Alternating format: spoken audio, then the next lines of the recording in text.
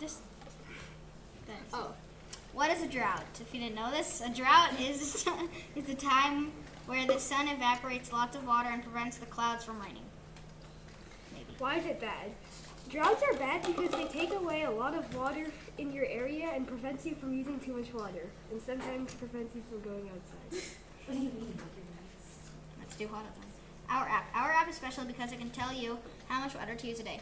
It tells you the weather each day, and there is no other app of its kind. I think. Thanks for watching. Questions? Nope. You, Who is that little guy? oh, just found it on the internet. Tra-la-la-la. You adopted? We adopted him. Sign your papers. Dragon rights. The end. Wait, there's a Wait, question. And there's one more question. You! Yes.